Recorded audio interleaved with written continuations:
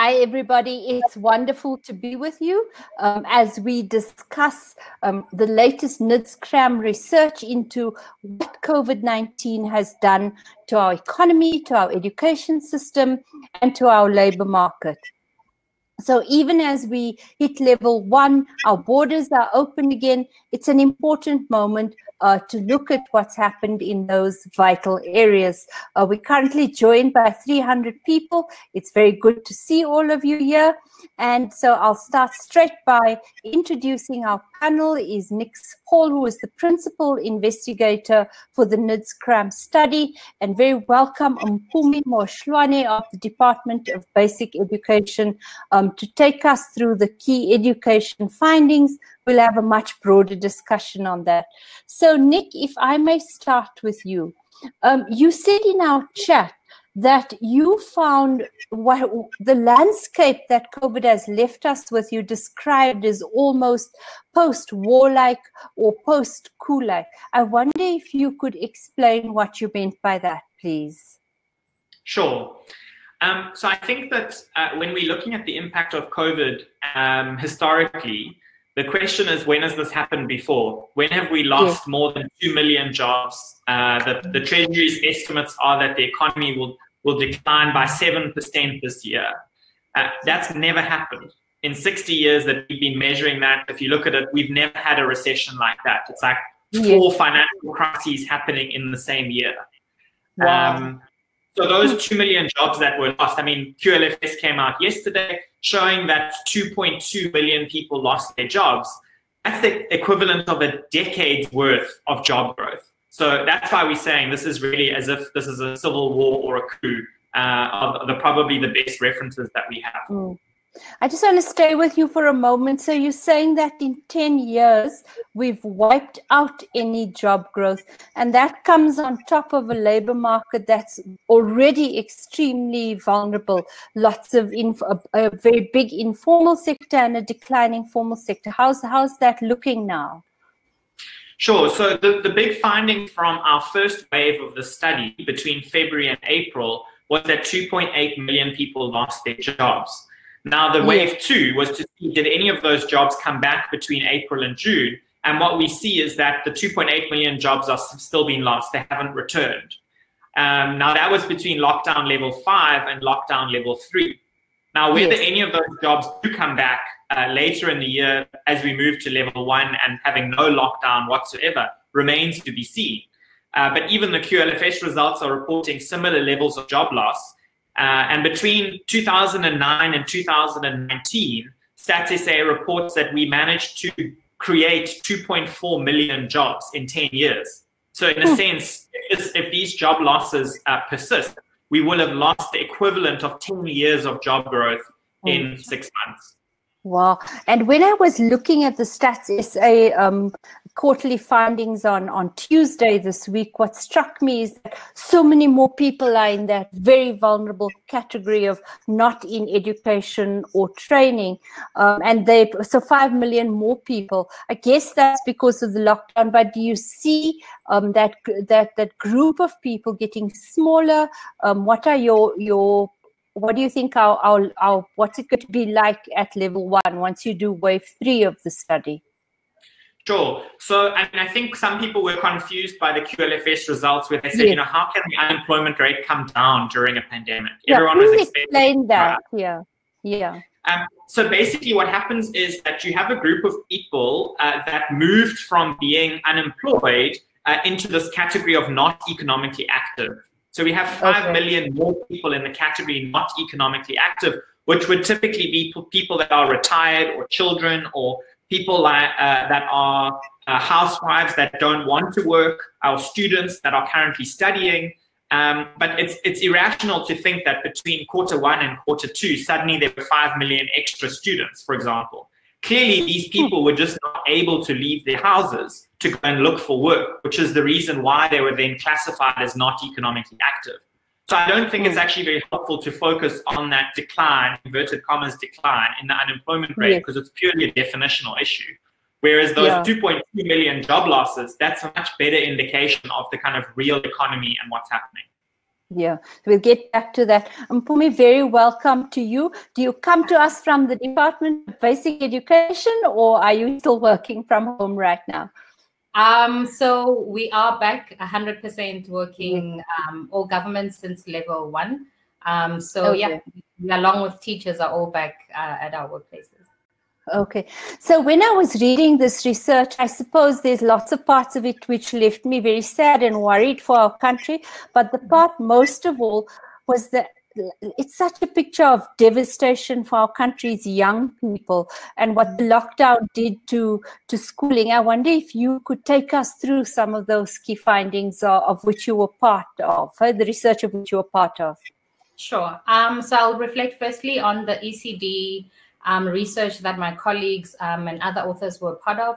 Um, and yes. I think the big things we see there is that um, only 25% of children have returned uh, to school. This, this, is children that are between zero and six. Uh, I don't yes. think the zero actually go, but that's the category. Um, and this is 25% of pre-lockdown um, levels. But also, yes. if you try to compare when in time did we see similar attendance, uh, this was in the early 2000s. So we've about 18 years um, of enrollment um, is now not seen um, as, as opposed to in 2002. Uh, those were the comparable um, timeframes. Um, and what this means, I think, is we know that uh, early stimulation um, is important for the development of children. So schooling or getting ready to be able to learn doesn't start when you're in grade R or in grade one. We need ECD centers to be doing this early stimulation work. And so if mm. children mm. are not in these centers, uh, what are they doing? How they're they being occupied? How are they mm. being stimulated? And I think even prior to lockdown, um, there was um, high stats or alarming stats in the country about stunting. Um, in terms of children. And we know that these centers often provide a meal for children. And so, again, um, speaking on hunger in general in the country, mm. um, being in an ECD center, it influences this.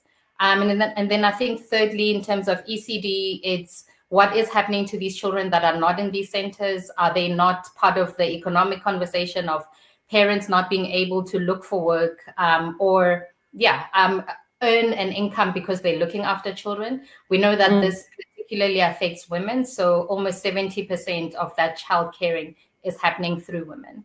Um, hmm. And then I think moving on to basic edu- basic education sector, yes. Um, we've seen, um, thankfully, the good news is more than about 88% of grade 12 learners at school. Um, so grade 12 learners have had the least interrupted schooling. I think it's good that that's been protected. It has implications for higher education in 2021 uh, that has implications for comparability, right? We don't want to have a disadvantaged group of grade 12s, the ones we see as the not so, not comparable to 2019 or yes. 2018, right? So in terms of university, but also in the workforce, we, we don't we, we don't want to carry that in, in the long term. So that's been good.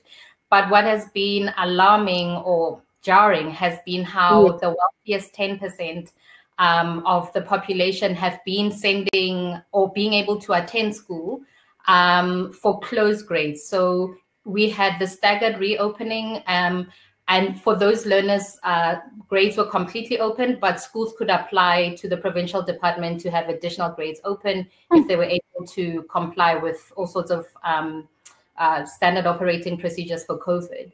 And you see that the wealthiest 10% were in fact able to do this. And you have almost 50% of the wealthy accessing school when the rest of the majority were not going to school. So I think that that is something um, that should we should worry about, and that exacerbates inequality.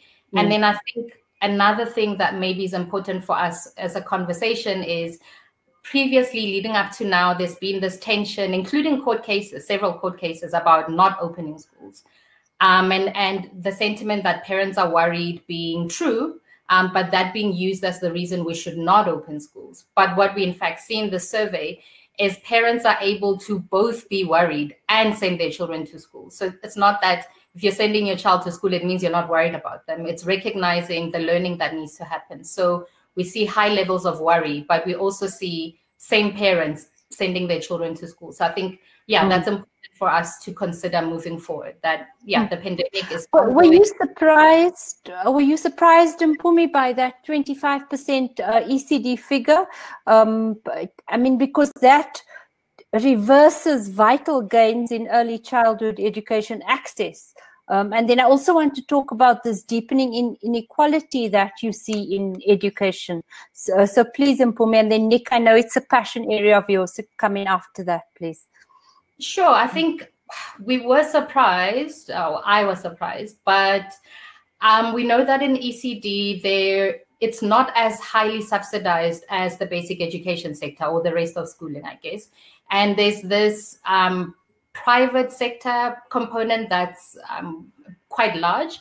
Um, and we also know that the in order to comply with these COVID um, requirements in terms of hygiene and practices, ECD yes. center owners would have to themselves spend this money um, during a time when parents are earning less money than what they used to earn. So this idea of rising costs, um, but not uh, a way to compensate for these costs, and therefore it's not entirely surprising. Um, mean, I think secondly, just it's ECD is more fragmented than um, basic education. So for us, you know, we have 95% of children in public schools. Private schools mm. are in South Africa.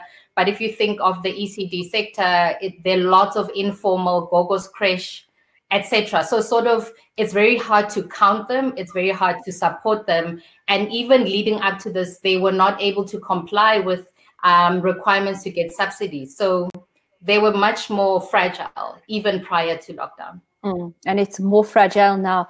Um, Nick, do you want to come in on the education findings and what challenges they, they hold for us as a, as a society?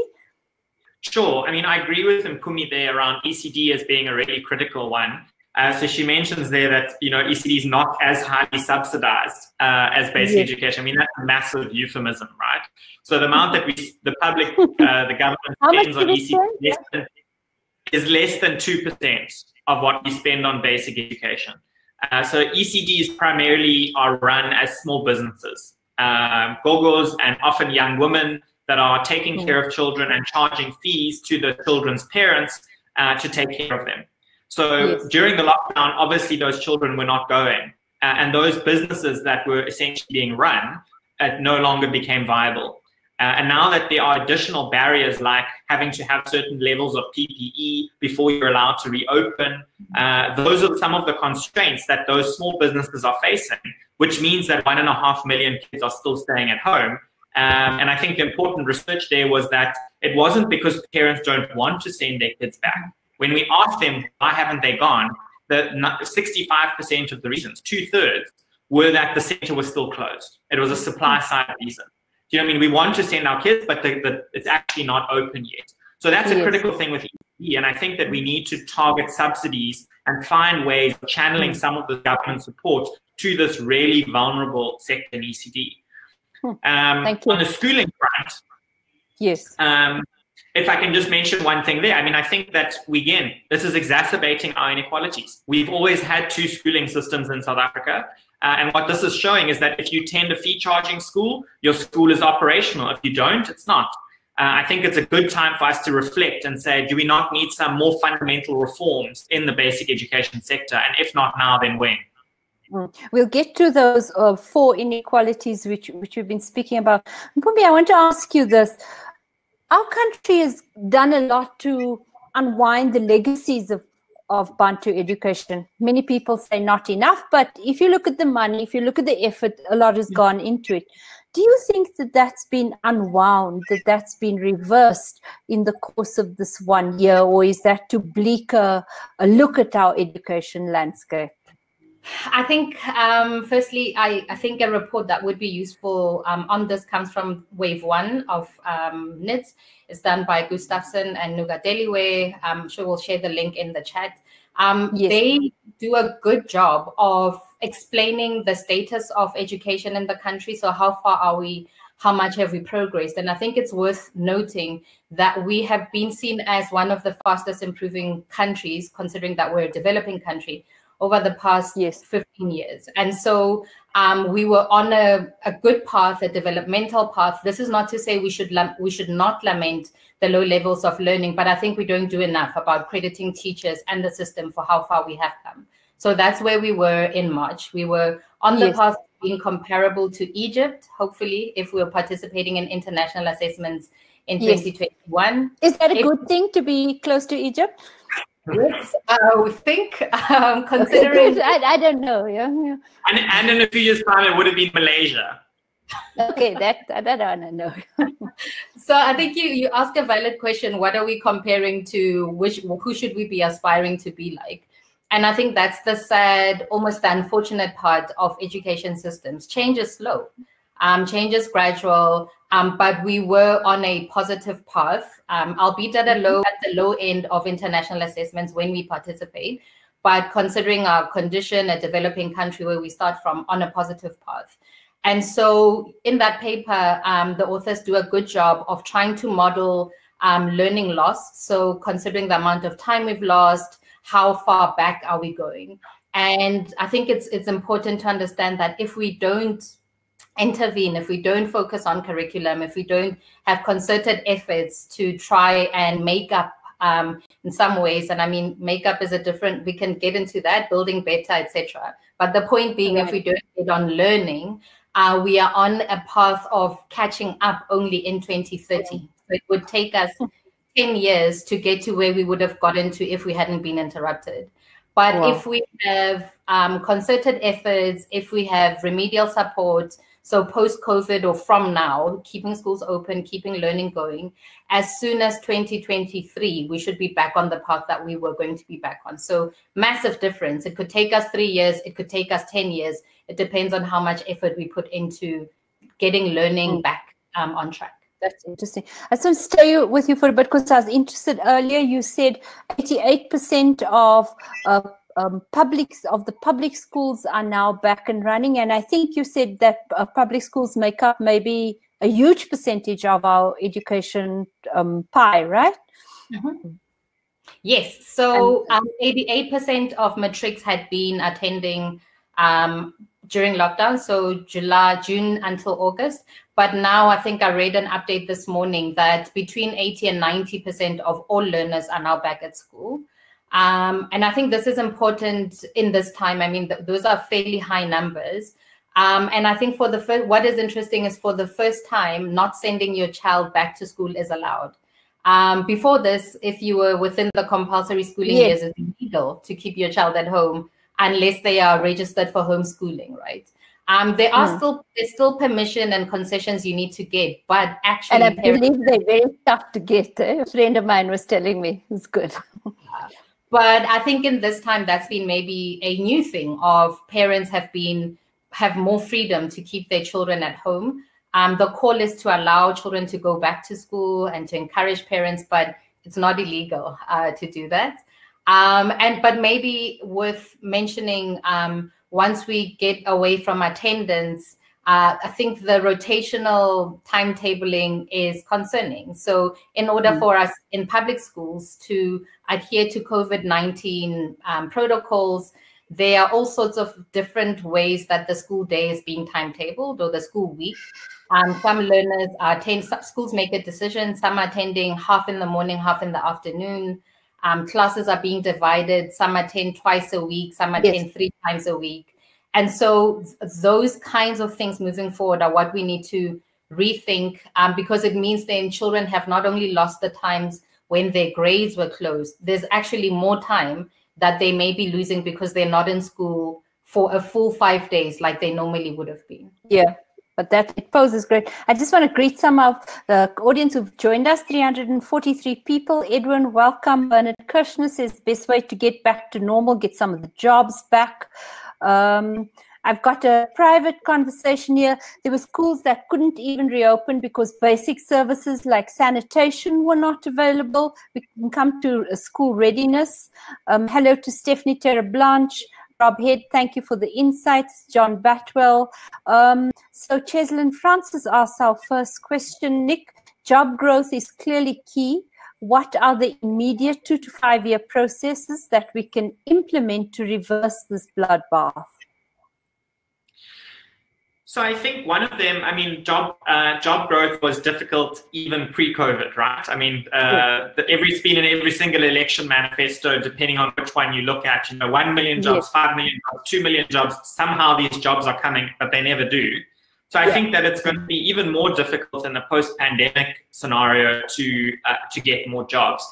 But I think it's probably dependent on two things. One is business confidence around whether or not the economy is improving and whether they should be expanding and hiring more people or rehiring labor that they retrenched or furloughed.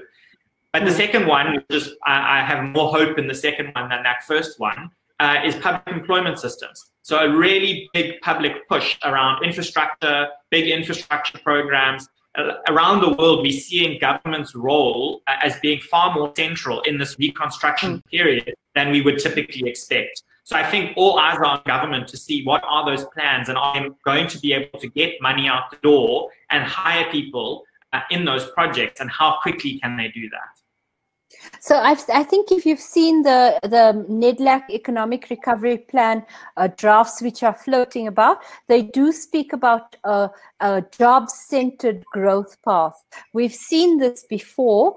Um, do you feel like public works on infrastructure, and this is for either Nick or Mpumi, is, is a good way to go to, to rapidly soak up all this um, extra labor that, we've, that we're now seeing being put into the labor market? So, um, well, you go for it, Mpumi. So Sorry? now I want to add or push back on something you said, Nick, and then you can answer. It'll be a combination. So I agree on on on infrastructure um, being a big opportunity. I mean, we've had um, serious problems in basic education on infrastructure, and I imagine these will be even higher for ECD centers that are less formal. Um, but I do want to know, Nick, um, your thoughts on the tension between government trying to stimulate the economy and create jobs through things like infrastructure and the um, parallel mandate of government spending the least amount of money to get services. So specifically, I'm speaking about things like providing toilets, right? So the basic education sector has had big scandals around um, pit latrines, etc. But when government procures these toilets, the cost of the toilet is three times um, what a private sector cost would be or an individual cost would be. So how do we manage that? Shouldn't even though government is is can participate in stimulating um, the economy, having sort of price caps um, in big ways on things like basic infrastructure and not paying yeah not non-market related prices for um, services. Mpumi, hmm. may I come in here because this is a, a, topic I think that's front and center of our national imagination. The story of what we call PPE uh, corruption is also often one of preferential procurement that's just gone crazy, where what the government's paying for infrastructure, goods, and services has no bearing on on pricing. Um, and this is what you're talking about. And clearly, I mean, the Department of Basic Education has rolled out a marvelous school building scheme. What's been your experience of trying to get those costs down and competitive in the way that you've suggested? Because education infrastructure is a big part of the NEDLAC uh, economic recovery plan. Huh? I think it's so, so, the examples I'm citing in terms of toilets are real. It's that the pricing you get once you issue a tender, this, these are the prices you get. And out of the five people that bid and qualify to build um, the toilets, they all are giving you above market related prices. Yes. I, I think what's been a maybe short term or maybe should be long term remedial approach has been working with the private sector. So there've been all sorts of companies that are saying we want to partner, we want to help and then you get them to directly build those toilets without it being government funds that are used for, for doing that. But I don't think it's a basic education issue. This is a national treasury, um, public works conversation about regulating prices. There are other ways in which we are able to regulate things, right? So salaries are largely stated, issued every year. We all know how much each person at each level is supposed to get paid. And I think similar things could be done on procurement. Um, so having a range that's publicly known, uh, yes. and we won't pay more than this uh, to get hmm. services. Yep, that's very important. Lovely questions, Nick. I'm going to just read some of them. Um, what is being specifically identified un under the umbrella term infrastructure from John Batwell? I'll quickly answer. It's and please join me. It's social infrastructure like education. Um, mostly, it's bridges, roads, railway, and transport infrastructure. And then, obviously, the big one is energy infrastructure. So, um, renewable energy, um, independent power, power power production, etc. So Charles Unwin, intermittent employment is counted as employment. Intermittent employment are counted as jobs, but they may only last a week. We've had a, a couple of these. Don't you think it's time to re-examine our language or our classification around employment to reflect the on the level ground living conditions? Nick, you want to take this one? Sure. So I think it actually does speak back to this earlier question, and Mpumi also added one there around infrastructure. Um, and I think there are a couple of reasons why it does make sense to focus on infrastructure. Yes. One is that the largest job losses between February and June were actually amongst manual laborers and the poor. Uh, so 50% okay. of people who were manual laborers or in the poorest half of the population have lost their jobs. Uh, so targeting the recovery for that same industry, I think, makes a lot of sense. The second one is that I think it speaks to what we call a no regrets policy.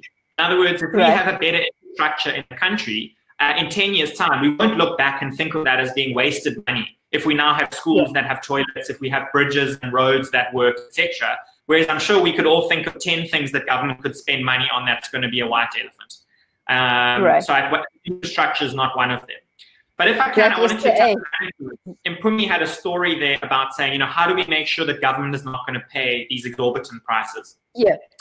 When Pravin Gordhan took over SARS, uh, there was this sort of apocryphal story, but maybe one of your listeners can tell us if it's true. So he, he comes into SARS and he takes out this double page ad in the Financial Mail or the Business Day or whatever it is that businessmen read. And it's he's welcoming these two hotshot tax lawyers that he had hired into SARS from the leading agencies, the tax agencies that were advising the big corporates. And was something right. like within 72 hours, had a whole lot of things coming in saying, oh, we've mistook our tax, you know, we've submitted it, we've resubmitted it, and now we've just paid 100 million rand extra type of thing. Uh, and I think that that's something that we actually need to be doing is that uh, the DBE, for example, needs to be hiring a whole lot more civil engineers to be looking at this and saying, this is bullshit. Like these prices you're giving us are nonsense. You inflated these by five times. The problem is that the people that are reviewing those budgets and approving them, when it's not uh, in, when it's not kind of overt corruption, it's incompetence. They don't actually have the skills to review the budgets to make uh, make sense of whether they are inflated or not. Uh, and then the other one is just to have some symbolic prosecutions. So where we have had PPE uh, procurement that is illegal, we actually need some of those people in orange suits so that that is a deterrent to subsequent contracts uh, and bids, etc., to, to deter them from that. Uh, I think we need both of those. Yeah, absolutely. So, lovely questions. I'll just read a few more for all comments from Riaz Jacobs. This pandemic is a massive catalyst for change, and we've had quite a few questions. So maybe the idea of reset, how we work, how we educate and learn, and how we prep ourselves from for the next crisis to keep the economy going and preserve or create jobs. Um, between climate change, political turmoil globally, and the threats of further pandemics, no normal is no longer a thing. So Mpumi, this idea of a reset, how how would how do you, how is the Department of Basic Education thinking about that in how we shape future future education? You've you've touched on some of it, but perhaps a few more thoughts. Eh? Sure. Um, just the last comment on next infrastructure, um, sure. getting the right experts um, around the table or hired permanently. I think that's a big thing, and I think that's something that's come from um, the SAFE initiative around sanitation. A whole group of people that are, are targeted and focusing on infrastructure as their expertise rather than mm. as you know a side duty you do now that you are at the department of basic education and now we have a crisis. So i think that's super valid. I'm 100% agree with that. Then if we think of building better um, i think um, we're preparing for the future i think infrastructure to finish off the infrastructure thing is an important one. We've had serious sanitation um, issues and water supply issues that didn't start now. There've been issues, and solving those things for the future will be helpful. I think it's part of why um, the wealthiest amongst us are able to go to school um, at a higher rate than the rest of public schooling is because they have sufficient numbers of classrooms. They have um, sufficient toilets and water. So getting those kinds of things right in general as a human right now, mm. but as a human right that will um, will work for us in the future is important in terms of preparing for future pandemics. I think a second one, if we go into the classroom or content wise, um, we had all hoped that technology would be a big um, relief in terms of providing yes. access uh, to education outside classrooms. But we know that this is not the case, right? So we've seen that even though some schools have been able to continue learning, this is not happening in the majority of schools. This is not happening for the majority of children. And so I think as a long term issue, the technology infrastructure of the country should be addressed. That's not a, a DBE necessarily yes. issue, but as a country, if we think we are going to need to be able to access education, access work, etc., from remote or different locations, that's a long-term investment we need to work on. But I think often. And may I ask what that looks like um, for me? Is that cheaper data? Is it better signal? Uh, more iPad, phone, spectrum?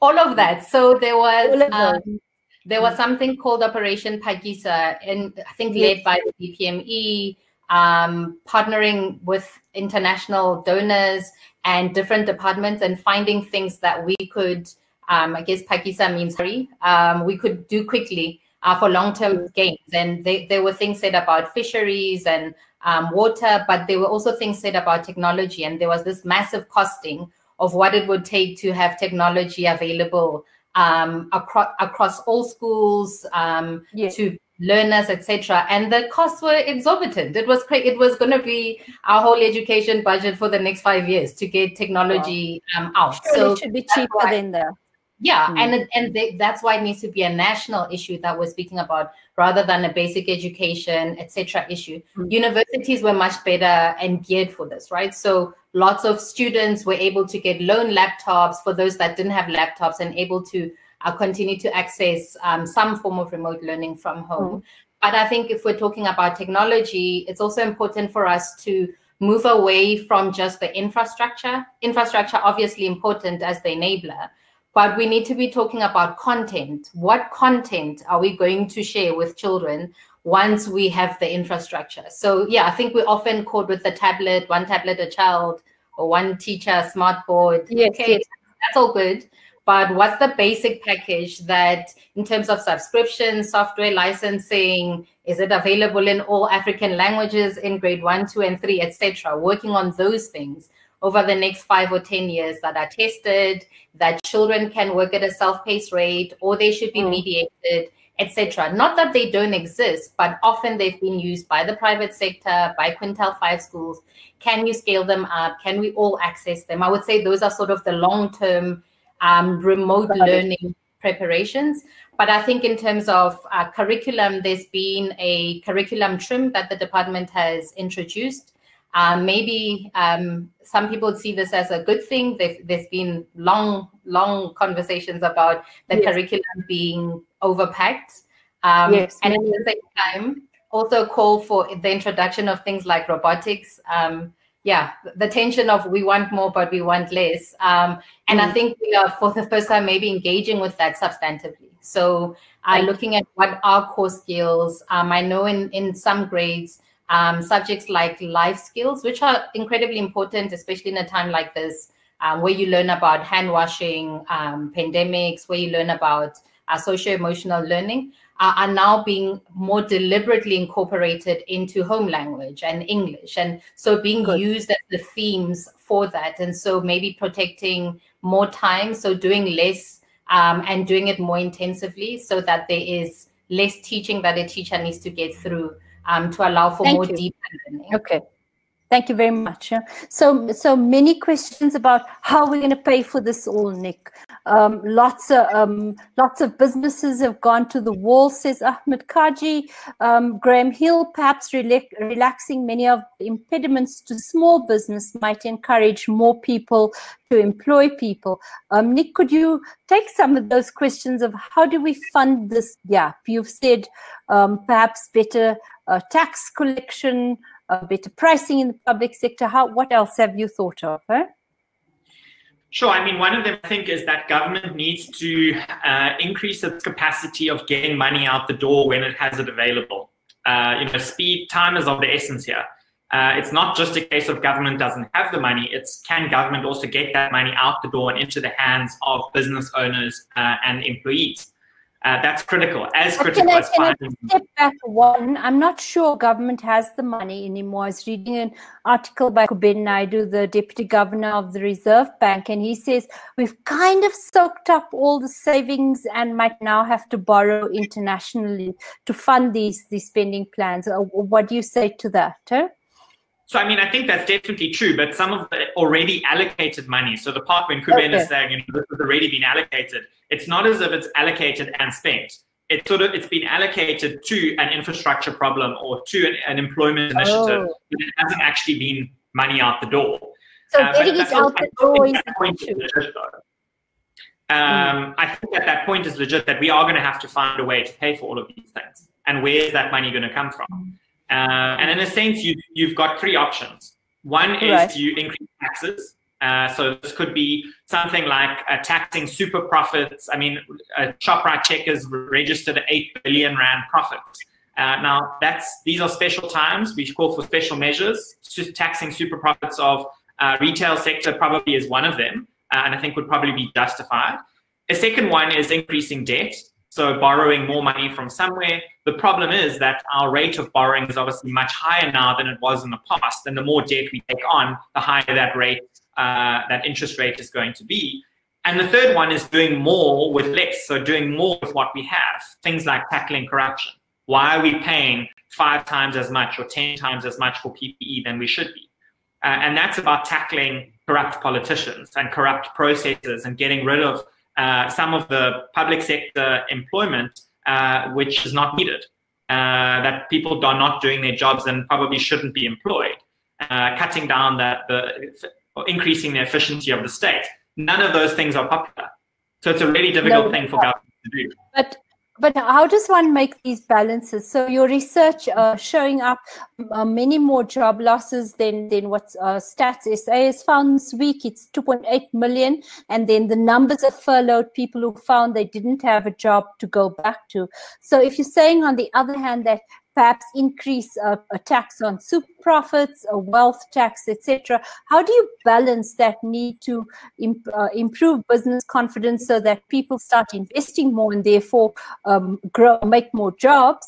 Uh, on the one hand, on, on the other hand, taking steps that are difficult to do in, in like like you've said in each of those three policy options. And also, it feels to me like government really can't tackle those the 1.3 million size civil service sector because it's you you can't add to the joblessness burden Yeah.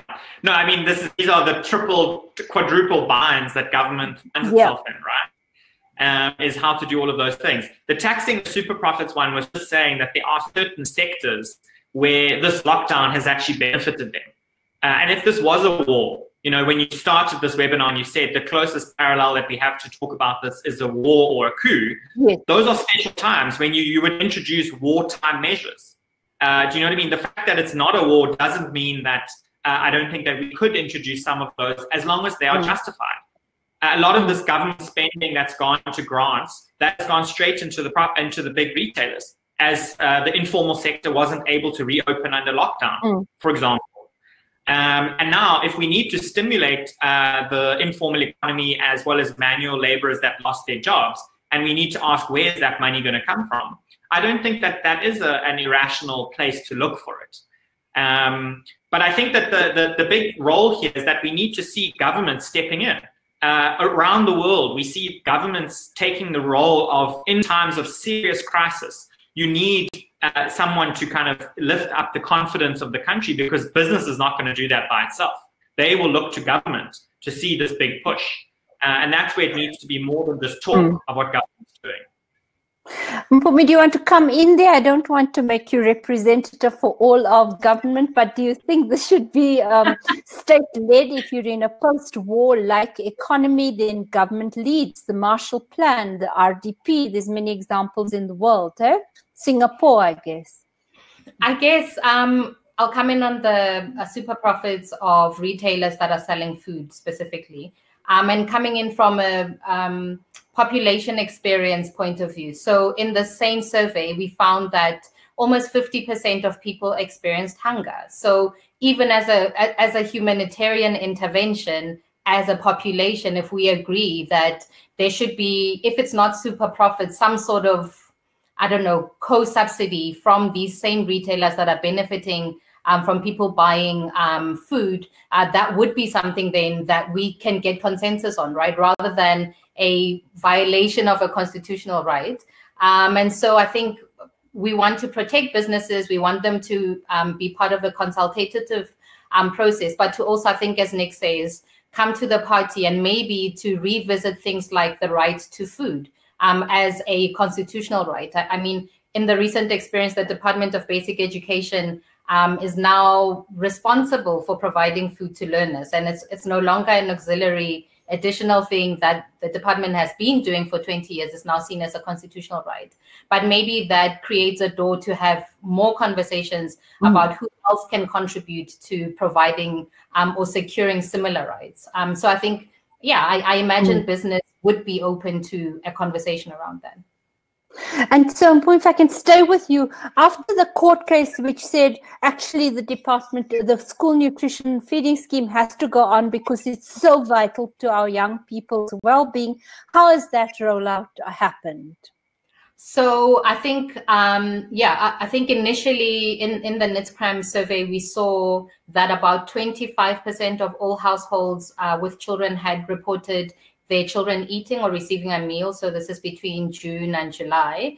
Um, and just to give people an anchor number, this was like 90, 80% of children in the schooling system were getting a meal each day. So yeah. about 9.7 million children.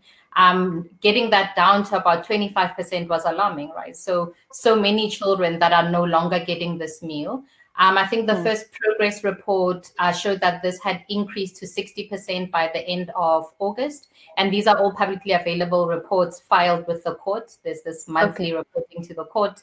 Mm. Um, and then I think most, but part of what was hindering children's access still um, to the meals is access to schools. So I think one mm. of the hmm. key things that happened was a change or um, communication saying to children, you do not have to go to your own school to get a meal. You can go to any school around you to get a meal.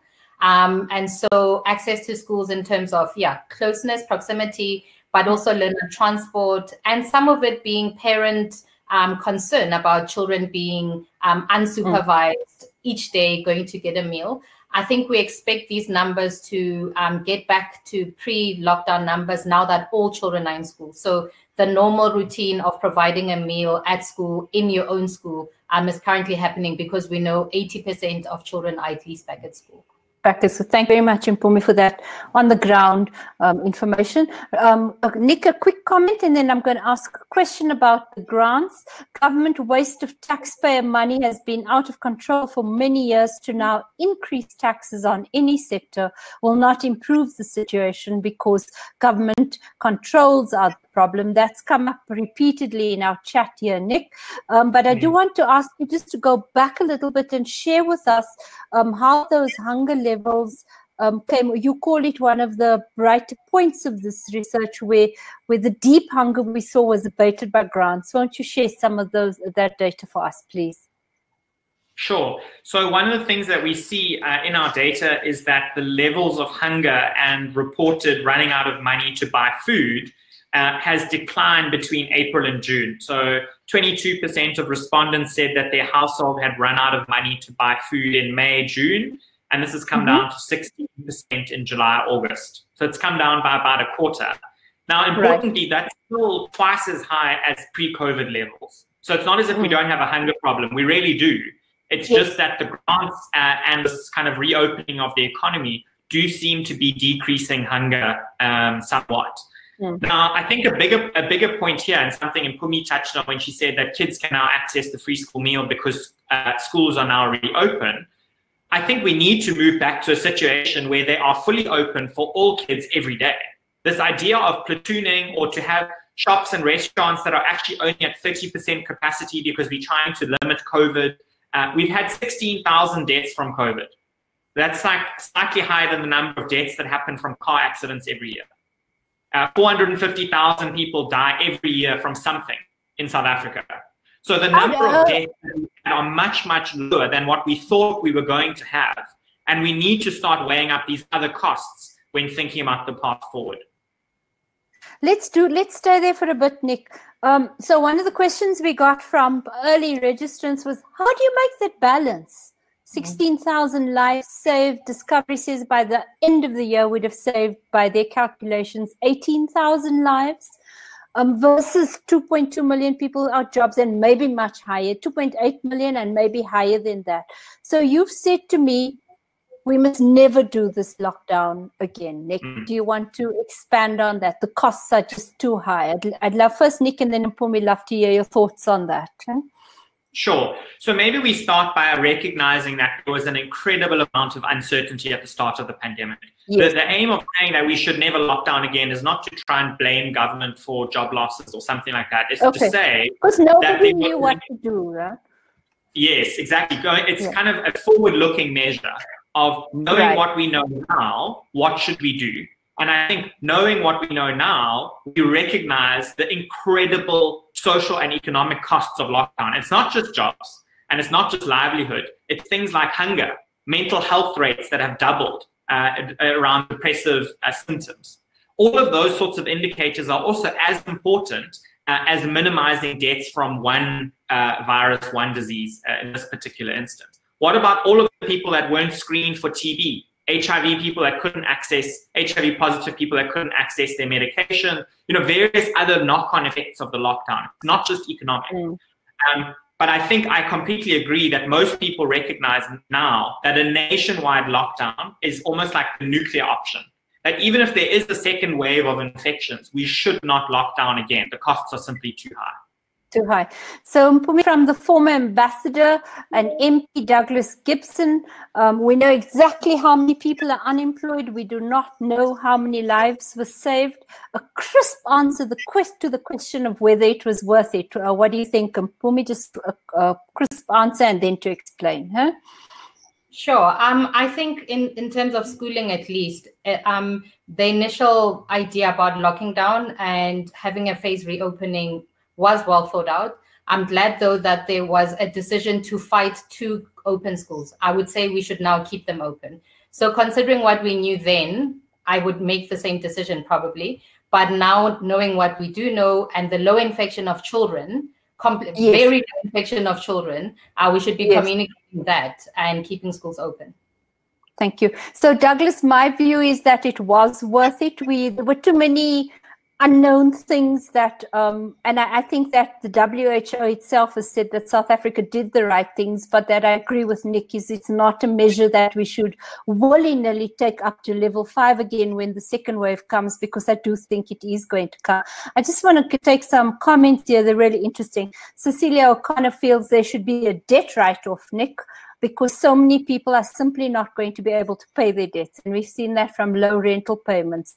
Um, another one from Samantha Willen. During lockdown, many of us turned to online shopping, and that has sent uh, many small businesses to the wall. What do we do about that? Uh, Lance could say, I think this was on tax, Nick. You can't be serious. This government's incapable of providing leadership. Um, and then a question from John Batwell. Um, there's so much talk of when is the walk about to start and how with our international bad, uh, bad school report with the depth of corruption. I think this is about when is um, when are people going to go to jail? I think we've had big news this week. Two major cases, but uh, uh, Bosasa and the Free State asbestos case, certainly very big arrests. And I think we'll soon begin to see politicians also doing that uh, perp walk.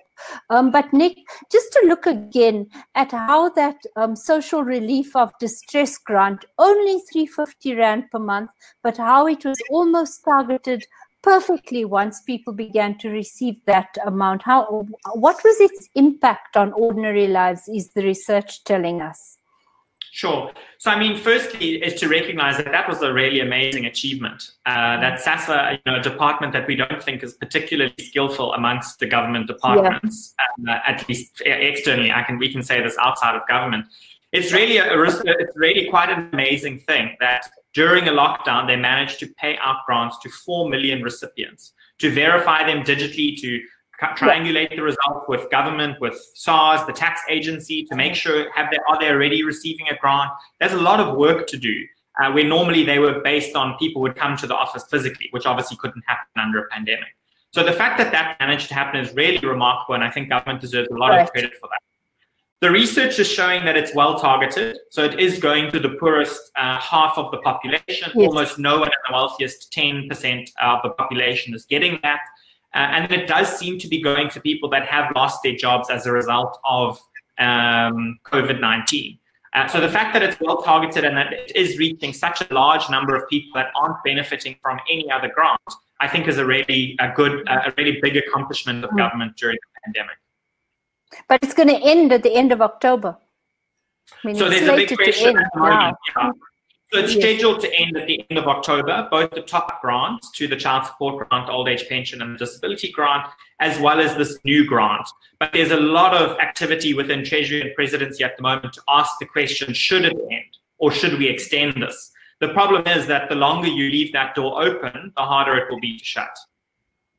Yes, I, it's absolutely right. I'm sure that Tito Mboweni sitting in Limpopo at the moment is making okay. that balance big time uh, and cooking while cooking. Yeah? So Stephen Anna Chellen says COVID's provided an ideal platform for government to get its house in order, laying down the law, enforcing what could be a starting point we could only build on. Mpumi, as we head towards the end, I want to ask you a question that I hope is not career limiting, right? So stay you were the Minister of Basic Education, facing what you do now. Um, luckily, you've saved a lot of the, uh, the grade 12 learning what are the immediate things you would do to ensure that we have that three-year rebuild rather than a 10-year one? So I think uh, starting maybe with ECD, um, prior to lockdown, there was this announcement by the president of a function shift, shifting ECD from um, social development to basic education. I think that should be a major priority. It should remain a priority. Uh, firstly, in terms of subsidies, so using similar um, successes that we've seen with these grants um, and targeting um, giving uh, these small businesses or these ECD centers that operate as businesses uh, the required yes. subsidies to allow them to function as soon as possible again to give relief to parents and families, but not just as a short term COVID 19 relief, right? So, as a way of building a system of getting more ECD centers registered, more in partnership between the private sector and the public sector and getting more information about where these centers are so that we're able to support and monitor them not just punish them by not giving them subsidies. So i think the ecd conversation would be top top of mind top um, of your priorities. yeah some gains that we can make quickly considering how quickly we were able to work on the grants. And then i think yes. in terms of um, basic education i'd say we, we need to keep communicating clearly and deliberately for multiple audiences the low risk faced by children and the comparable risk faced by teachers. Teachers, of course, are adults and may have comorbidities, but are similarly at risk with the rest of the population. So they're not at special risk compared to everyone else. And so keeping teachers as well in schools working. Um, and then I think a big thing, uh, figuring out how to sustain this trimmed curriculum in a way that's sustainable, that is not about just short term measures, and providing adequate support for teachers in classroom.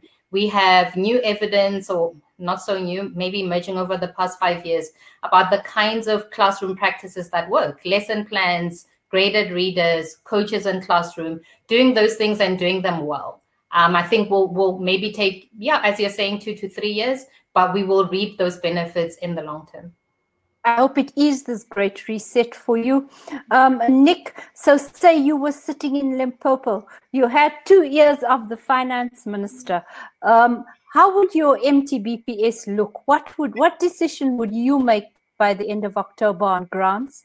And if I may just ask you, what do you think the key factors or what are the key the ingredients we should put into an economic recovery action plan, which should be released one of these days. Sure. So, I mean, using uh, the Tito Mboweni's uh, cooking analogy, I think the main yes. spice that needs to be put into this meal is time. Time is of the essence. We, I mean, if I was there in Limpopo and advising whoever it is that's writing up that document, I'd say to them, in the same way, when, when a new president comes in and they say, in my first 100 days, this is what I'm going to do, they need to say, we are starting the recovery plan today. In the first 100 days, we will do this this many people, this many EPWP jobs, this many contracts issued, etc. Because if you set that deadline in motion, you can then crack the whip with all of your DDGs and MECs, etc., to say we are meeting these targets. No, it doesn't matter that it's 5 p.m. and you still need to work. You're not going home. Make sure we reach mm. these targets. So I think that the most important thing at the moment is not to have this really slow and gradual uptick. It needs to be a, a bounce back, which means the government mm. needs, needs to get its arse into gear and get stuff out the door in these first 100 days. Very good. And what would you do about that uh, SRD grant, the Social Relief of Distress grant, which is due to end at the end of the month? Would you keep that going? Most definitely. I think that it's not politically, both not politically feasible to remove that grant, but more importantly, from a moral and humanitarian perspective, there are too many people that are so close to destitution that the top up grants and these COVID grants, not just the COVID grants, also the top ups, are really keeping people from extreme hunger, including children. Mm-hmm. Thank you very much for you both uh, for sketching, I think, very visionary landscapes in a, in a difficult, what looks like a post-war environment. Many thanks to you from people on our chat. And yes, uh, colleagues who joined us, it will, the recording will be available if your, um, if your link got a bit wonky at times. And thank you to our Maverick Insiders who sponsored uh, today's seminar. And thank you both for excellent research. I really enjoyed reading through it. Um, have a great day. Bye bye. Thanks. Thanks for having us. Bye bye. Cheers. Bye.